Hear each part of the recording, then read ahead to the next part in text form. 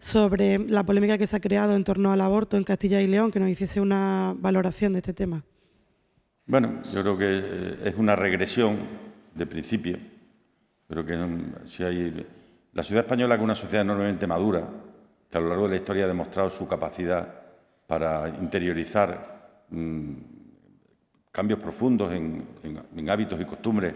en relación con la interrupción voluntaria del embarazo, pero sobre todo en relación con la libertad de la mujer para decir sobre la maternidad. Creo que hay un mucho mayor consenso en la población del que a veces aparece eh, entre los partidos y, por tanto, me parece una regresión plantear esto en, los términos en los que se ha planteado